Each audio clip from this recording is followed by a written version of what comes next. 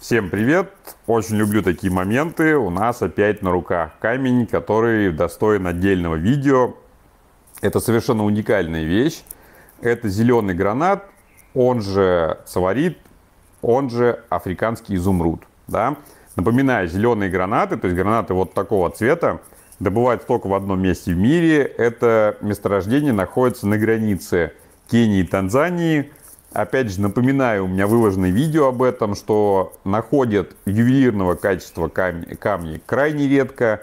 А вот в тот момент, когда я был на добыче саварита в Танзании, именно вот в том месте их не находили вот такого качества ювелирного, да, уже больше года. И по расчетам им еще копать несколько месяцев. Мне кажется, полгода, если я не ошибаюсь. И, возможно, тогда у них пойдет жила, а может быть и не пойдет. А, вот, а, цавариты, опять же, напоминаю, крупными считаются. Даже если он уже 2 карата, он считается уже крупный. Данный экземпляр а, около 10 карат. Посмотрите под видео, его точный вес будет написан.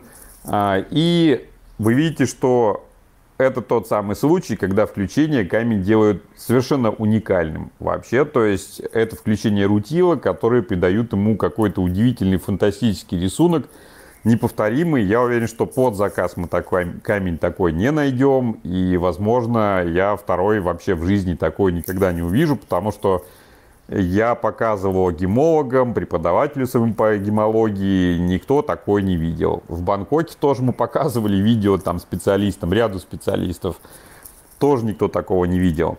А, то есть, по сути, это уже не драгоценность, это инвестиции, это произведение искусства, это совершенно уникальный подарок, сувенир, не знаю, амулет на память.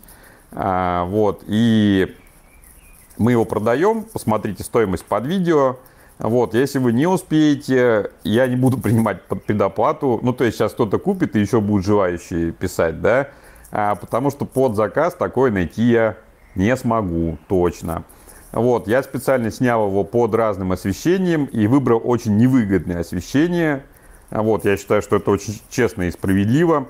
А, там есть на нем темные точки, такие черненькие. Это выход рутила на поверхность. Все нормально, они должны быть. Это часть композиции, скажем так. Вот. Если кому-то интересно приобрести совершенно уникальную вещь, пишите. А, в WhatsApp мне, да, я советую поспешить, потому что обычно такие штуки очень быстро расходятся. А, и, в принципе, если, если вдруг даже никто не купит, я с удовольствием оставлю у себя просто в коллекцию. Всем привет, не болейте, берегите родных.